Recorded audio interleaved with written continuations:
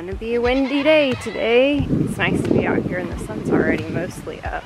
We've got to move our hay today. We got the hay paddock finished. Jeremy got the hay paddock finished this week. We set the post for the gate. Gotta get it all moved today. Hopefully, my brother-in-law's supposed to be here in a little bit with the flatbed trailer. Help us get started. Officially kicked everybody out of the shop because a couple mornings ago, dude got in an altercation with a raccoon, which is fine. It's kind of his job, but I don't want a raccoon in my shop. It wasn't in the shop. Well, good morning, Dottie. Somebody's been out playing, so I didn't want the raccoon to find the dog food, end up in the shop, have to get it out. This was a good motivator to go ahead and kick Shrub out for now. She hasn't really been in here that much. I don't think anybody won the altercation with the raccoon. He managed to chase it off, sort of. It was on our flatbed trailer he couldn't get to it because of where the trailer was. He was just sticking his head through the side and barking at it. And it couldn't get away because it couldn't get away from him because it's backed up to the fence. Raccoons are not very fast. Okay, I've got to get the two kittens out of here now. I have breakfast, let's go. Come on. There's plenty of food in Shrub's bowl, so I know if they were starving, there was food to eat, but I'm trying to get them to eat some ice. Let's have some breakfast, goat.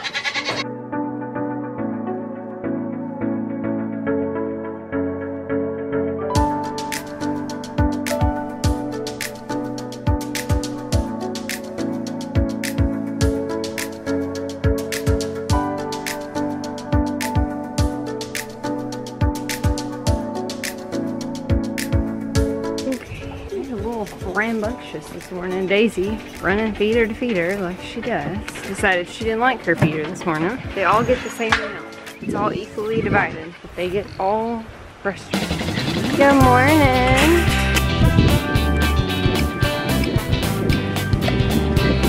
Come on.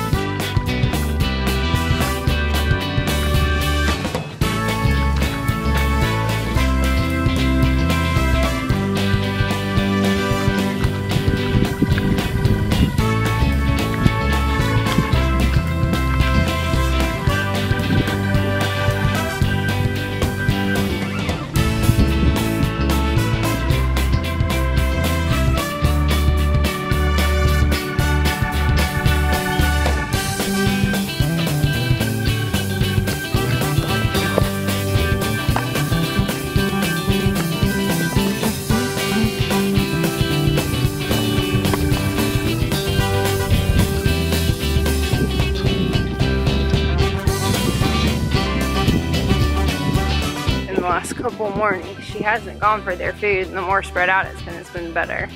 So I think the problem is mostly that I'm standing there. So she thinks there's like more food and not full.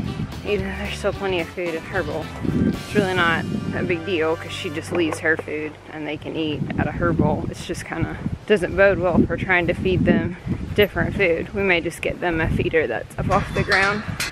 They're gonna eat hay and all that anyway. So Twiz is doing some butt sniffing this morning. It's too early for Nani to have gone back into heat. So my guess is she's probably in heat. We will see. But I just made a very strange noise.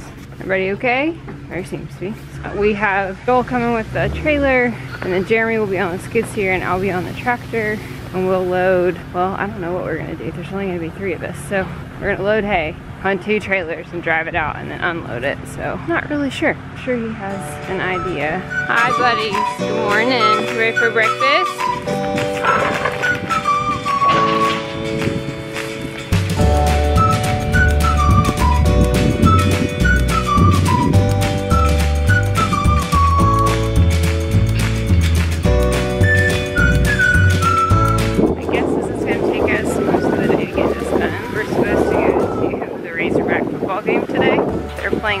Which is where my dad graduated from college. I grew up an Ole Miss fan in the Grove, Saturdays in the fall. And of course, Jeremy grew up Razorback fan. His whole family is Texas fans though, so it's really funny. Supposed to do that at like 2.30, so we'll, we'll see how that goes. and they're all ready to go out. It's not happening. No more pin. Got all the T-posts pulled.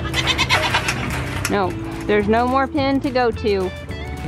There's not, giraffe. Sorry. Need to go check on Zelda really quick before we get started. I didn't come out.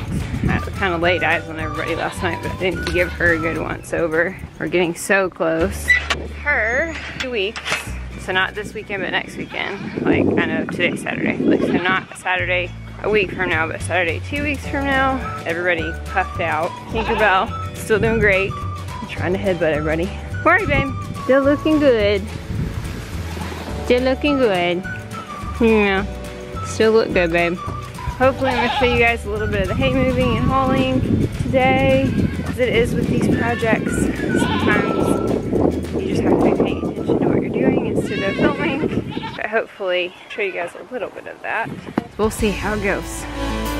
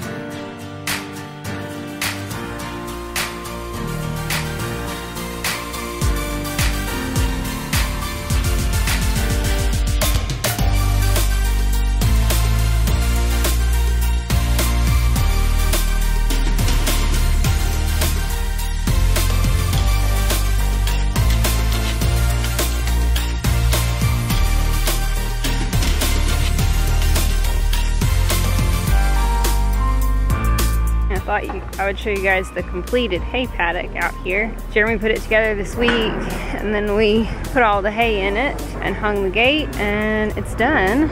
Here's where all the hay is. Paddock, it's a swinging gate, and so hopefully when I come out to put hay out or to check on cows or when um, Jeremy's dad does it or he does it, those of us who aren't as confident as Jeremy is walking around with them can drive in here with our range cubes and dump them over the top into the corral so there's something in between you and the crazy cows that are excited about range cubes. So what he did was kind of put range cubes all throughout the corral to kind of get them to walk through it.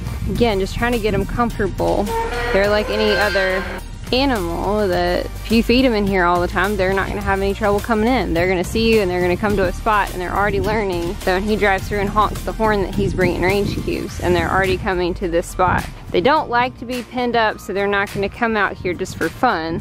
But if we can constantly pair the pin with food, pin with food, basic Pavlov classical conditioning, it will be no problem to get 13 animals into this pen. And that's always the issue we had with having it up at the front of the house was there was just no easy way to get them to it and feed them. And this is a really good way to check on everybody. Everybody's feet look good. Everybody looks to be in really good health. Just looks really great. Stacked up all the hay with the skid steer and I put some of it in here with the tractor. Took us about four or five hours, but it's here.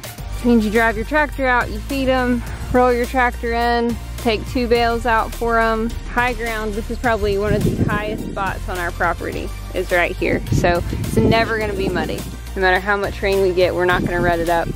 And the long-term goal is to possibly put a little garage out here to store the tractor or the skid steer in the summer, just like one of those like camper carports, so that the tractor doesn't even have to come from the front of the house back. It can just be out here. And that just saves us time. We can ride the four-wheeler out here or walk if it's super muddy, and then just move things, not rut up things, no matter what the water's like.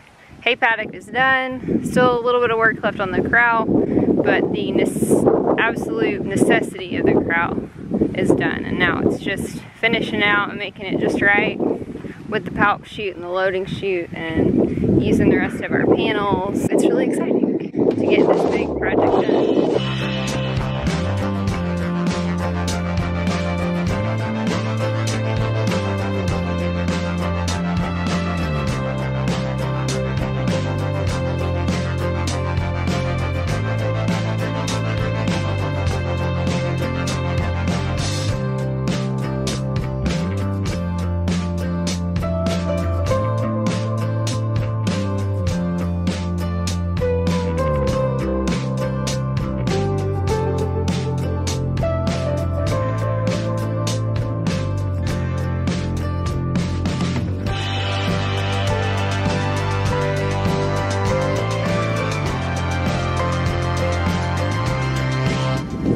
Curly's confused. I think he wants to be in there, but he doesn't know how to go. Hereford bulls are not the smartest, but they sure are cute. In fact, they're like miserable to try to move because they have no idea what's happening. So if you don't get them with the whole herd the first time, you're probably not gonna get them. That's the only complaint that we have about them is if they're by themselves, they're impossible to get to go where you want them to go. Just because they're stupid and can't figure it out. It's gonna be super windy. So we just got dressed for the football game and that is a huge deal. So now that all the hay is gone, all this fencing can be torn down and done correctly. So we can finish pulling, we can create our road, and all of that can be torn down. We did give the cows a little bit as well, and he left me, these two bales are for the goats and the calf. And I think that's gonna be enough for them for now. It may be that further on down in the winter, we may have to go back out and get one more, but that's not a, big deal. It's supposed to rain tomorrow. We're really supposed to do all this until Sunday, but fingers crossed it's actually gonna rain so that we can get all of that just moisture back in the ground so that T-posts will be easier to hammer in. We're just waiting. We'll get you some water? Hmm? Oh, there's a pig. Where's mother pig? Where's the big pig? Do you need some water, Grouchy pig? Mm-hmm. You need some water? Okay. I'm gonna get you some water. Find the big pig. So the girls were super sad this morning that they didn't get to go in the backyard. They all lined up. It's Saturday, which they only know it's Saturday because we get up later. Like I firmly believe that that's the only reason is that like number one, Jeremy's outside. It's a little bit later. It's the favorite hangout spot under the tree. Whew. Okay, I have dust all over me and in my eyes and nose and mouth, I just took a shower to get rid of. This bear, are you sad that we took all your hay bales? Huh? Are you sad? Yeah. He loves to stand up on them and bark, but he also likes to get up there and poop on them when it's too wet outside. Skid steered it so well. Jeremy's able to stack them all up there. Where's Big Pig? Work job! Big Pig! Where is he, Toonie? Hmm? Where's our Big Pig? Big Pig! Big, big, big, big, big. Oh, there he is. Buddy, what are you doing?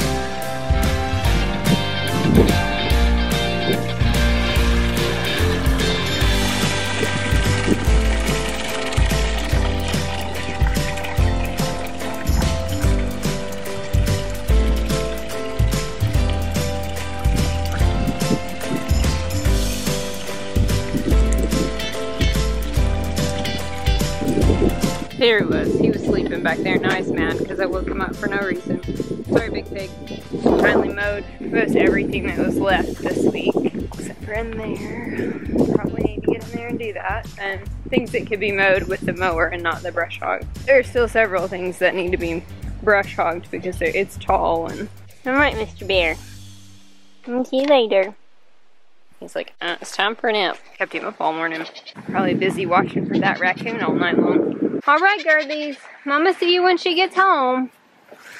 See when she gets home. Hello. Hello. What are you doing, Pop Poppers? Is everybody? It's a lot of you.